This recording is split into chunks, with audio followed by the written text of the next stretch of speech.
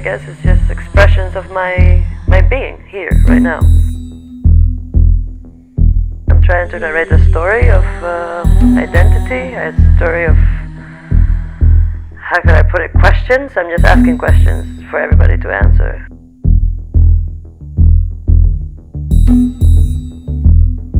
Identity has too many layers.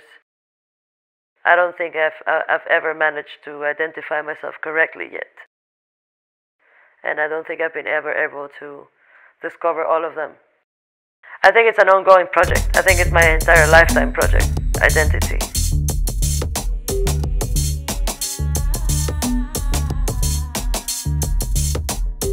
So my body of work, I guess, is trying to show the existence of myself in this planet as much as the existence of my country.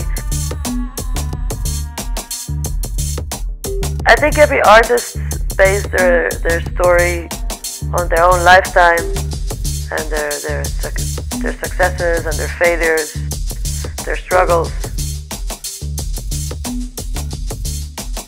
So all the good and the bad come into being an artist. It's not just struggle and like emotional impact.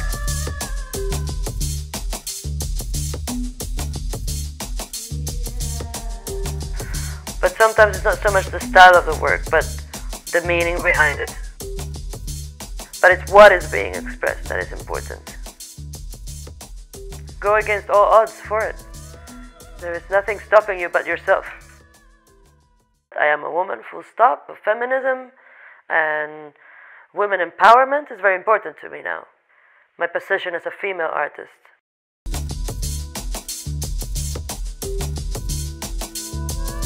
what masks we wear to deal with society, what masks we wear to deal with our family, what masks we wear to deal with religion, masks that we wear as a gender.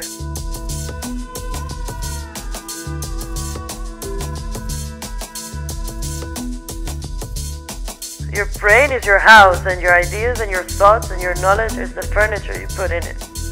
So you can feel comfortable in it.